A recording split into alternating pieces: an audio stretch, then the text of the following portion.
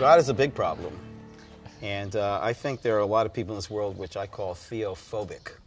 You know, I think I was one of those people growing up. I think that's why the Kabbalah has been so important to me, because it helped me get over and really kind of get rid of this bad image of God who is out to get me, this acute comic strip of Calvin and Hobbes, where Hobbes turns to Calvin and says, Calvin, do you believe in God? And Calvin's got his hand behind his head thinking, he says, well, somebody's out to get me, you know? And I think this is, this is really, if anything, that's what the Kabbalah will do for the world. It will get rid of this, um, this childish, abusive image of God and enlighten us to uh, an understanding of God which is um, not just more personal, but more empowering. Well, what the Kabbalah reveals is that the teachings of Judaism did not come to disempower man at all, just the opposite. It came to empower us with an incredible sense of meaning and purpose that you and I are literally expressions and aspects of this one self. Then you've just tapped into the infinite source of everything and everyone. So it's just the opposite of what most people identify religion with, is that it's about disempowering us.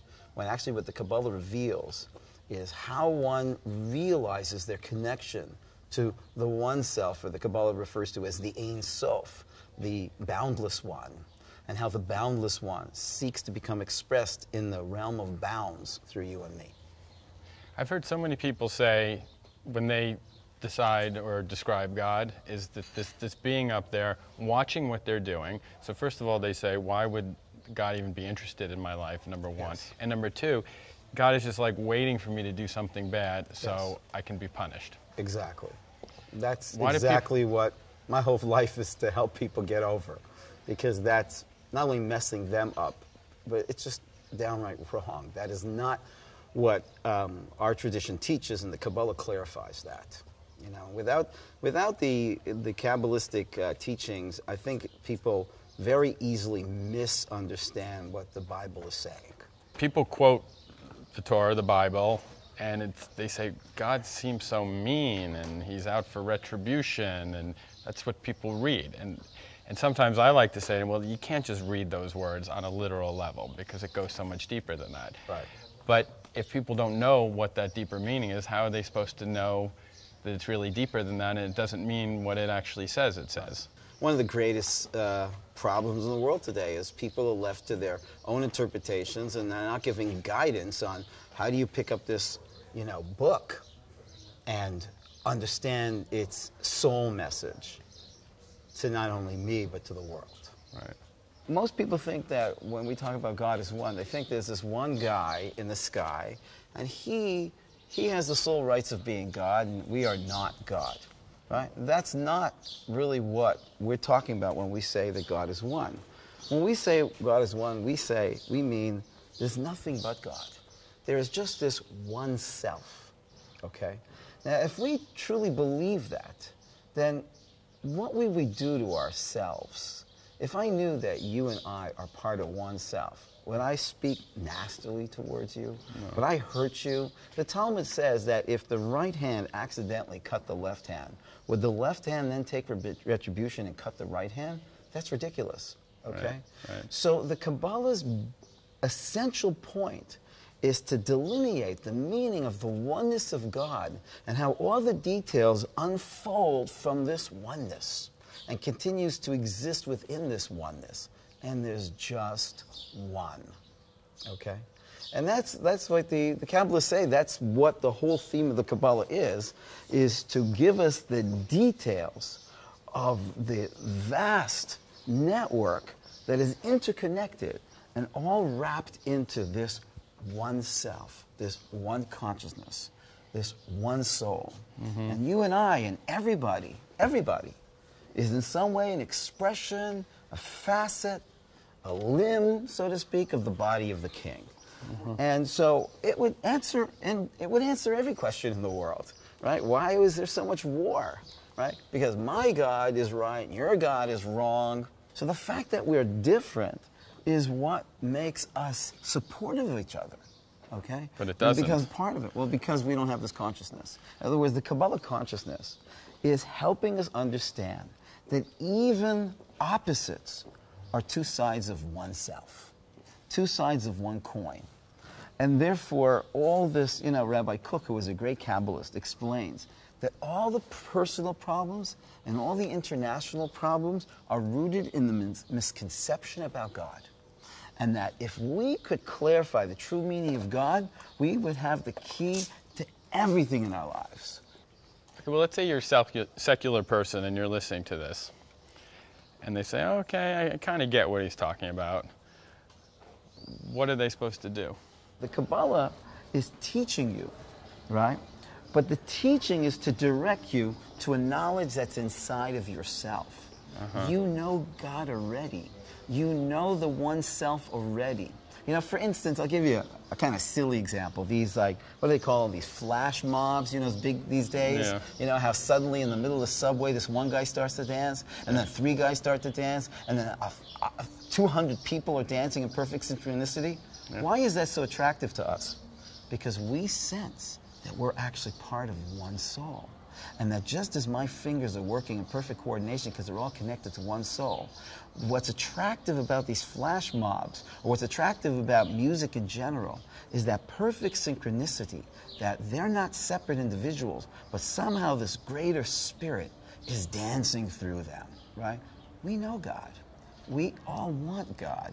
You cannot but yearn God. But if you think God is some guy in the sky over there, a lot of people don't want that guy.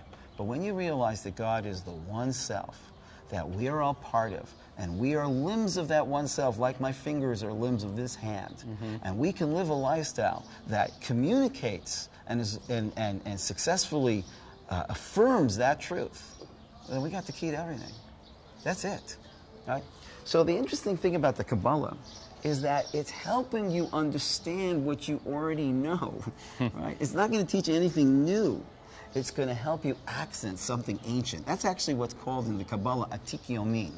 The highest sphera, the highest divine power, is called the Ancient of Days. Right? Why is it called the Ancient of Days? Because actually, what we're doing is we're getting in touch with a knowing that's ancient. Mm-hmm. You know, in fact, the Hebrew word for progress is lihit kadem. The Hebrew word for the past is kedem. So that doesn't make any sense, but it makes total sense. Lihit kadem means I am progressing towards the past. Right? All progress means I'm progressing towards a future where what will be revealed is what I knew all along inside me. Hmm. Right?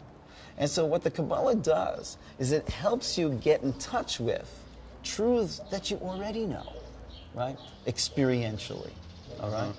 So you've got a menu, but you see, the problem with the menu meal metaphor is that there's this menu and it's describing a meal, and I might start to really salivate, wow, this sounds really delicious, and then I eat the menu, that's ridiculous. But I've never tasted that meal, so this menu did a good job of kind of getting my imagination what this must be. But then I got to eat the meal. In this case, you're the meal right? The Kabbalah is the menu, and it's directing you to what you already know inside. Uh-huh. And that we are naturally seeking all the time. We are all seeking to become part of the one.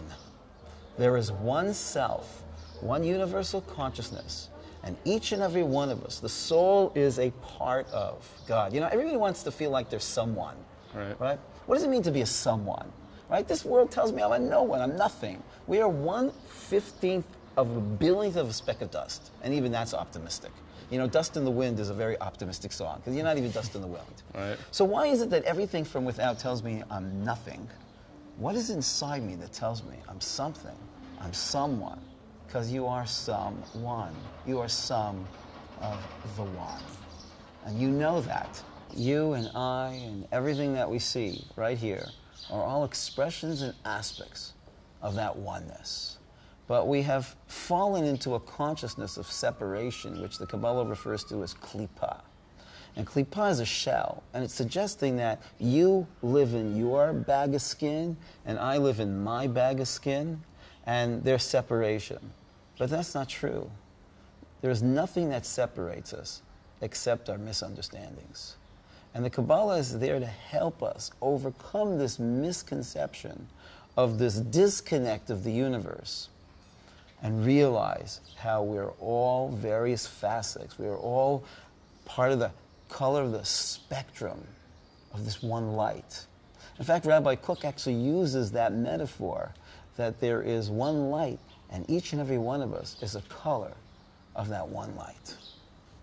And the more we, we awaken to this oneness, and the more we think, talk, and act under the influence that you and I and everyone else are part of this one self, the better this world will be, and the better each and every one of us will feel.